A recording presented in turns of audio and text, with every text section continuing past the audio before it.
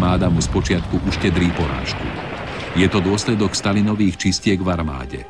Vidí to celý svet. Útoky na armádu sa Stalinovi vrátili v jej neschopnosti vybojovať čo len lokálnu vojnu.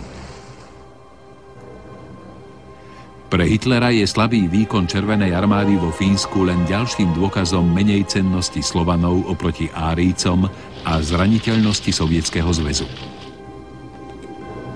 Ale pred verejnosťou sa zatiaľ na ich vzťahu nič nemení. Koncom roka 1939 Hitler telegrafuje Stalinovi. Príjmite prosím moje najúprimnejšie blahoželania k vašim 60. narodeninám. Ja predlagajú. Navrhujem, aby sme pripili na súdruha Stalina, ktorý nás vedie po žiarivej ceste ku komunizmu. Stalin odpovedá Hitlerovi bez irónie. Sú všetky dôvody, aby naše priateľstvo spečatené krvou trvalo ešte dlho. Sovietské a nacistické ruky spočinuli v pevnom podaní. Ruské suroviny prúdia na západ. Na hraniciach, kde sa mení rozchod kolajníc, prekladajú do nemeckých vagónov obilie a ropu.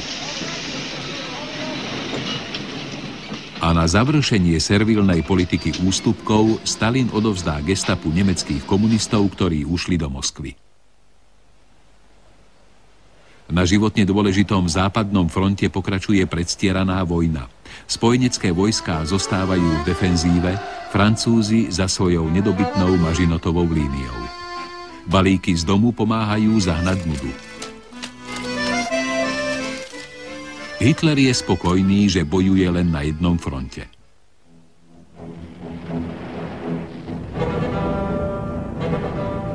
Máji 1940 prejdú Nemci do mohutnej ofenzívy. Napadnú Belgicko, Luxembursko a Holandsko a rozprášia britské a francúzske armády silnými tankovými útokmi.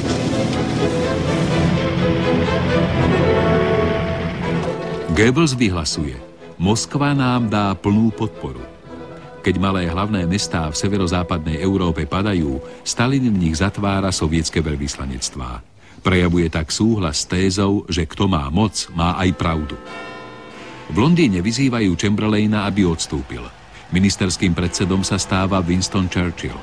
Churchill sa všemožne usiluje spojiť Francúzsko a Britániu proti hrozivému prízraku zničujúcej porážky – ale nemecká armáda sa nedá zastaviť. Zo severného Francúzska utekajú milióny obyvateľov.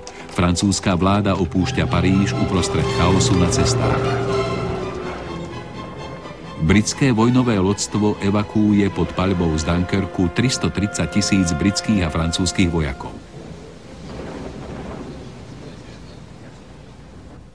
Vynikajúci tanečník a choreograf Mojsejev si spomína, ako po jednom koncerte v Moskve k nemu pristúpil Stalin.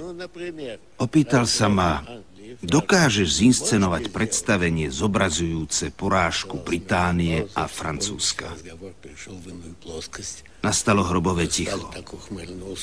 Každý pochopil, že rozhovor sa uberá novým smerom. Stalin sa uškrnul a povedal, ešte teraz. A dodal, no dobre, len si sadni. A odišiel. To bolo všetko. Táto epizóda všetkých prekvapila. A ja som si okamžite pomyslel, o čom to hovorí. Ak bude Británia a Francúzsko porazené, zostaneme proti Hitlerovi sami. Paríž padol.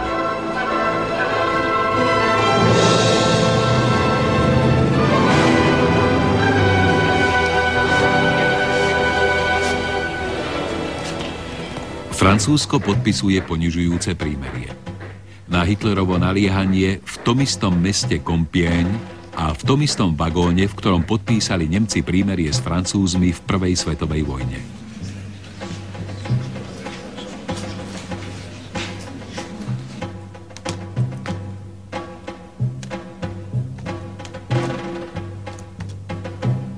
Tak sa Hitler pomstil za potupu v roku 1918. Berlín oslavuje pád Francúzska, ktorého obrovské priemyselné a poľnohospodárske bohatstvo sa dostalo pod nadvládu Nemecka. Ale aj Stalin dostane svoj podiel. Na severe anektuje Litvu, Lotyšsko a Estónsko. Je to opäť v zmysle tajnej dohody s Hitlerom. Do Vedna získal Stalin pre sovietský zväz 270 tisíc štvorcových kilometrov a 20 miliónov nových obyvateľov. Ako náhle tam vstúpi NKVD, postrieľajú tisíce nových obetí, 10 tisíce ďalších zatknú a pošlú do táborov, kde rozšíria rady pracovných síl.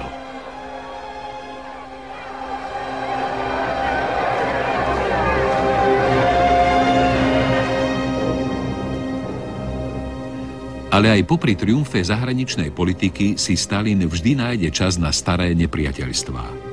Levovi Trockému, starému Stalinovmu protivníkovi, odmietli azyl mnohé krajiny západu. Trocký verí, že v Mexiku, ďaleko od pazúrov NKVD, je v bezpečí.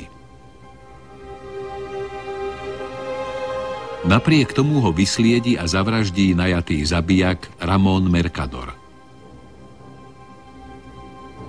Trocký skončí so sekáčom na ľadu v mozgu.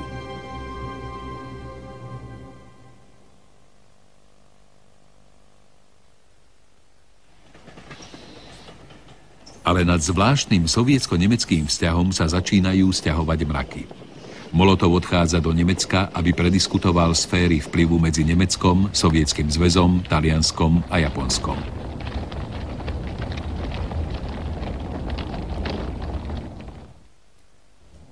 Ako vieme, Matsuokovi, japonskému ministrovi zahraničných vecí, už predtým oznámili, že Nemecko očakáva, že sa Japonsko pripojí k vojne proti Sovietskému zväzu. A že Hitler už podpísal rozkaz číslo 18, týkajúci sa prípravy na nasledujúci útok proti Sovietskému zväzu. Japonci sa však nedajú zlákať. Tokio sa rozhodne poistiť si zadné vrátka – preto Matsuoka letí do Moskvy podpísať zmluvu o neutralite. Nezaobíde sa to bez prípitkov a formálnej zdvorilosti. Stalin preukáže Matsuokovi mimoriadnu poctu, keď sa s ním osobne rozlúči. Ale Stalin je teraz v pasci.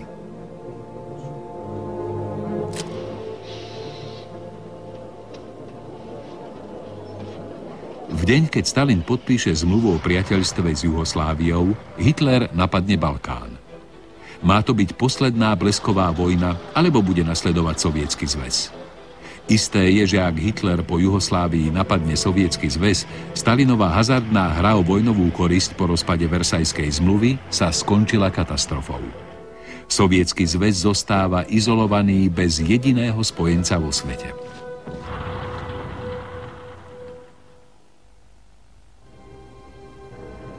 Stalin si vyrobil príliš veľa nezmieriteľných nepriateľov v strane i v armáde. Jeho pozícia vodcu jeho život sú ohrozené. Nemôže pripustiť, že sa prepočítal, že sa Hitler chystá zaútočiť. Ale podrobnosti o nemeckých zámeroch prichádzajú z každej strany. Churchill, ktorý má prístup ku kódu nemeckého hlavného velenia, informuje Stalina v tajnom telegrame.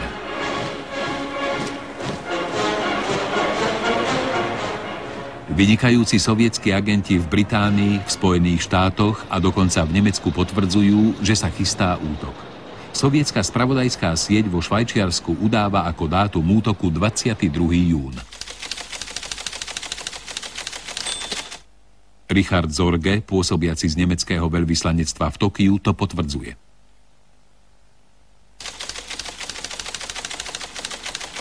Nemci Nemci začali s presunom vojsk do Fínska na strategické miesta blízko sovietských hraníc.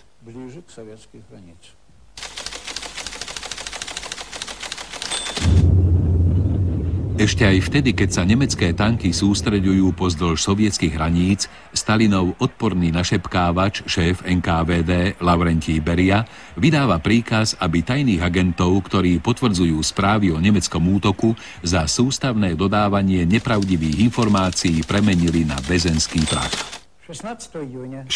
júna 1941 prišiel tento agent na schôdzku bol veľmi rozrušený a okamžite ma informoval, že Hitlerovo Nemecko napadne o niekoľko dní Sovietský zväz. A dokonca mi povedal aj dátum.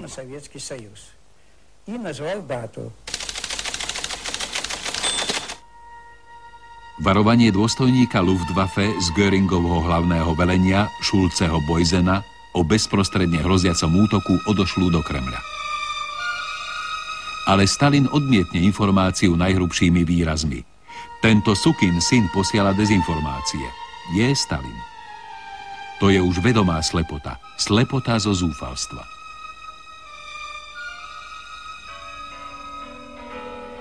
Keď sa osudná chvíľa blíži, Stalin odmieta Žukovové a Timošenkové žiadosti premiestniť vojská na hranice do obranných pozícií.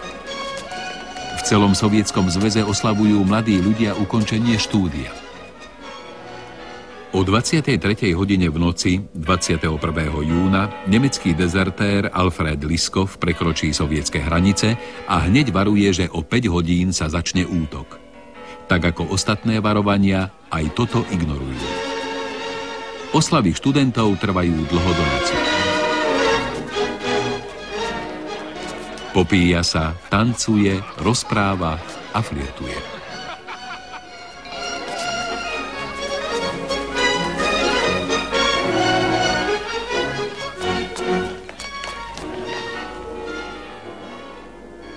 Vodca Sovietskeho zväzu sa napriek všetkým dôkazom neodváži uveriť, že sa katastrofálne prepočítal.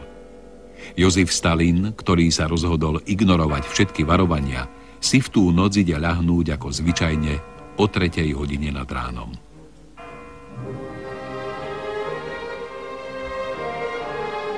Na slovenskom znení spolupracovali Ingrid Štepanovičová, Tatiana Štefucová, Milan Laca, Laco Konrád, Jana Bárdošová, Karol Kadlečík, Čaba Török a Ivan Paldia.